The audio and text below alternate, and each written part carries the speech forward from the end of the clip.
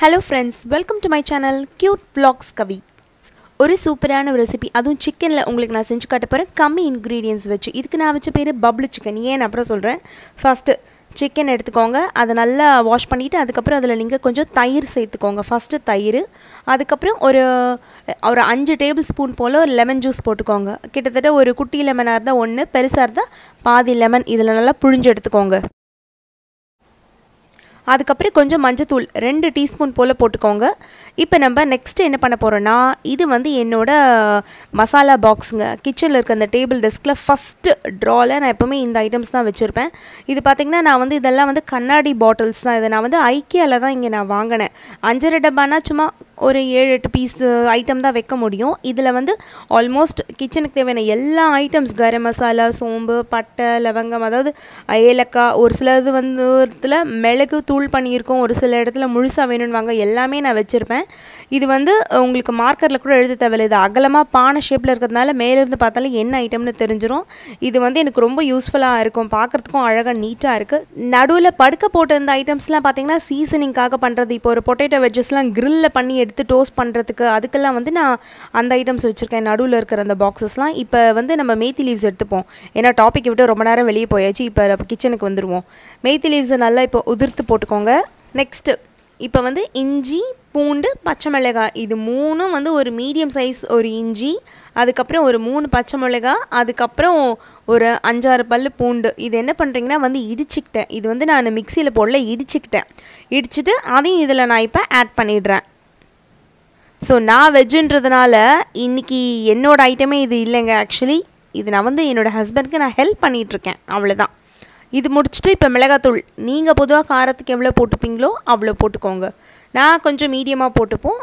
நீங்கள் உங்களுக்கு ஜாஸ்தி வேணும்னு போட்டுக்கோங்க. அது இல்லாமல் கூட கொஞ்சம் கரம் மசாலா. உங்களுக்கு நீங்கள் பொதுவாக நான் வந்து ஒரு ரெண்டு டீஸ்பூன் அளவு போடுவேன். அந்த அளவுக்கு தான் நீங்களும் போட்டுக்கோங்க. அதுக்கு மேலே காரம் ஏறிடுச்சுன்னா கரம் மசாலா ஸ்மெல் கொஞ்சம் ஜாஸ்தி ஆகிடும் இதை அப்படியே நீங்கள் நல்லா கைவிட்டு பிசைங்க இப்போ நீங்கள் வந்து உப்பு ஆட் பண்ணிக்கோங்க. கைவிட்டு நல்லா பிசைஞ்சிட்டிங்கன்னா எனக்கு இப்போ கொஞ்சம் தயிர் கம்மியாக இருக்க மாதிரி ஃபீல் ஆச்சு. அதனால் இன்னும் கொஞ்சம் அடிஷ்னலாக கொஞ்சம் எக்ஸ்ட்ராவாக நான் இப்போ தயிர் கொஞ்சம் நான் இப்போ சேர்த்துக்கலான் இருக்கேன்.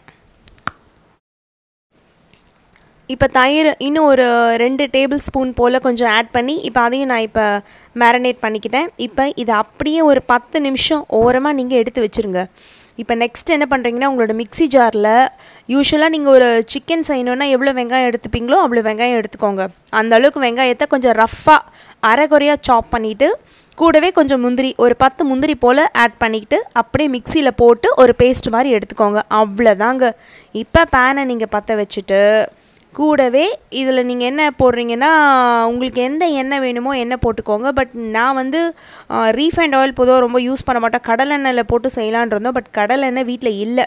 அதனால் நான் வந்து நெய் ஆட் பண்ணிக்கிட்டேன் அவ்வளோதான் அது இல்லாமல் இப்போ நெக்ஸ்ட்டு பிரிஞ்சி இலை அதையும் வந்து கொஞ்சம் பொரிஞ்சு வந்த பிறகு அதுக்கு நெக்ஸ்ட்டு நீங்கள் இப்போ ஆட் பண்ண பேஸ்ட்டை இதில் போட்டுக்கோங்க. நல்லா வதக்கி விட்டுட்டே இருந்து ஒரு அஞ்சு நிமிஷம் நல்லா ஹை ஃப்ளேமில் நல்லா கொதிக்க வைங்க. ஆனால் கூடவே நீங்கள் கிளறிக்கிட்டே இருக்கணும்.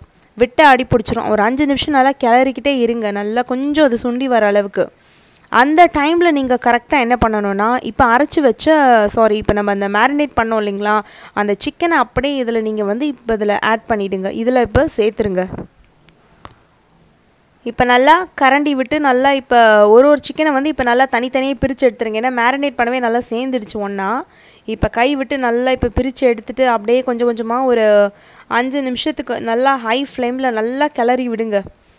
நடுவில் என்ன பண்ணிங்கன்னா கூட உங்களுக்கு அந்த தண்ணி பதம் வேணுன்றதுக்கு இப்போ நம்ம மிக்சி ஜாரில் நம்ம போட்டோம் இல்லைங்களா அதுலேயே இன்னும் கொஞ்சம் தண்ணி போட்டு நல்லா குலுக்கி அந்த தண்ணியை திரும்ப அதில் ஆட் பண்ணிவிடுங்க அவ்வளோதான் அந்த தண்ணி போதும். அதுக்கு மேலே ஆட் பண்ணாதீங்க. இது அப்படியே ஒரு ஹை ஃப்ளேமில் ஒரு அஞ்சு நிமிஷம் நல்லா கொதிக்க விடுங்க. உங்களுக்கு திக்கான ஒரு பேஸ்ட் மாதிரி அப்படியே அழகாக வந்துகிட்டே இருக்கும். இன்னொன்று சொல்ல மறந்துட்டேன். இப்போ நீங்கள் வெங்காயத்தையும் முந்திரியும் நீங்கள் சேர்த்து அரைக்கும்போது நீங்கள் என்ன பண்ணுங்கன்னா தண்ணியே சுத்தமாக போடாதீங்க. ஏன்னா வெங்காயத்துலேயே தண்ணி இருக்கும். ஸோ அரைக்க அரைக்க அந்த பேஸ்ட்டே உங்களுக்கு கிடச்சிரும். தண்ணியே போடாதீங்க. அப்போ நம்ம பாதி உப்பு தான் போட்டோம் மேரினேட் பண்ணுறப்ப இப்போ வந்து உங்களுக்கு உப்பு எவ்வளோ வேணுமோ அந்த அளவுக்கு இப்போ நல்லா அதில் உப்பு போட்டுக்கோங்க. ஸோ நீங்கள் ஒரு அஞ்சு நிமிஷம் நல்லா ஹை ஃப்ளேமில் வச்சு நல்லா குக் பண்ணிட்டதுக்கப்புறம் நல்லா வதக்கி விட்டு குக் பண்ணிவிட்டு அதுக்கப்புறம் நல்லா மூடியை மூடி ஒரு சிம்லேயோ இல்லை மீடியம் ஃப்ளேம்லேயோ நல்லா ஒரு பதினஞ்சு நிமிஷம் வச்சுருங்க. நடுவில் வேணால் கூட எடுத்து நீங்கள் திரும்ப நீங்கள் கிளறி விட்டுக்கலாம். ஆனால் அடிப்பிடிக்காமல் மட்டும் பார்த்துக்கோங்க. ஆல்மோஸ்ட் இப்போ வந்து நமக்கு ரெசிபி இப்போ செஞ்சு முடிச்சிட்டோம். கிட்டத்தட்ட ஒரு பதினஞ்சு இருபது நிமிஷத்துக்கு மேலே அது மீடியம் ஃப்ளேமில் நல்லா கொதிச்சிடுச்சு. ஃபஸ்ட்டு ஒரு பத் ஒரு எட்டு நிமிஷத்துக்கு ஹை ஃப்ளேமில் சிக்கனை நல்லா வதக்கிட்டு அதுக்கப்புறம் ஒரு கால் மணி நேரத்துக்கு மேலே கொதிச்சிடவே கிட்டத்தட்ட உங்களுக்கு அந்த சிக்கன்லேருந்து வர தண்ணியே கிரேவி நல்லா அதிகமாக்கி கொடுத்துடுச்சு. இப்போ இதுக்கு வந்து நான் சப்பாத்தி தான் போட்டு எடுக்க போகிறேன் இன்னொரு பக்கம் பேன் வர நல்லா இப்போ ஹீட் ஆகிட்டுருக்கு ஸோ இவங்களுக்கு நான்வெஜ் முடிச்சிட்டேன். இப்போ அடுத்து என்னோடய ஐட்டம் சைட் டிஷ் என்னன்றதை நான் உங்களுக்கு நான் வரவே இல்லை. யூஸ்வலாக பார்த்தீங்கன்னா நாங்கள் பன்னெண்டுக்கெலாம் லஞ்சு ரெடி பண்ணிவிடுவேன் இன்றைக்கி சாட்டர்டேன்றதுனால ஒரு ஒன்றரை மணி போல் ஆகிடுச்சு ஸோ பப்ளு சிக்கன் ஏன் தெரியுமா அதுக்கு பேர் வச்சேன்? பப்ளுனாலே என்ன அர்த்தம்? பொதுவாக கொஞ்சம் நல்லா கொஞ்சம் புசு புசுன்னு இருக்கிறதுனால தான் பப்ளுன்னு வச்சோம். ஸோ முழுக்க முழுக்க இது வந்து முந்திரியிலே இந்த பேஸ்ட்டு ரெடி பண்ணதுனால தான். அதனால தான் நான் அந்த பப்ளு சிக்கன் இதுக்கு நான் பேர் வச்சிட்டேன். ஸோ என்னோடய ரெசிபி என்னன்றது சைட் டிஷ் என்னன்றது இப்போ உங்களுக்கு அதையும் நான் காட்டிடுறேன். இவங்களுக்கு நான்வெஜ் பண்ணிட்டேன். இப்போ நம்ம ஐட்டத்துக்கு வருவோமா?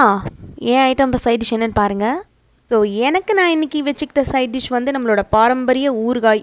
இதுதான் ஒரு மிகப்பெரிய விஷயமா நான் சொல்லிட்டு இருந்தேன். ஸ்டார்டிங்கில் என்னோடய சைட் டிஷ் நான் என்ன சொல்கிறேன்னு ஸோ இதை தான் எனக்கு தனியாக செஞ்சு சாப்பிட டைம் இல்லை. இதையே நான் ஊறுகாய் வச்சு அட்ஜஸ்ட் பண்ணிக்கிட்டேன்.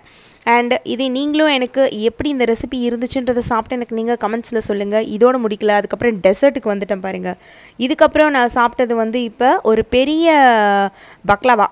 இதுவும் நாங்கள் கடையில் வாங்கினது இது நான் செய்யவே இல்லை. ஸோ ஃப்ரெண்ட்ஸ் இந்த வீடியோ பிடிச்சிருந்துச்சுன்னா சப்ஸ்கிரைப் பண்ணுங்கள் லைக் பண்ணுங்கள் ஷேர் பண்ணுங்கள் வேறு வீடியோவில் மீட் பண்ணுறேன் பாய் தேங்க்ஸ் ஃபார் வாட்சிங்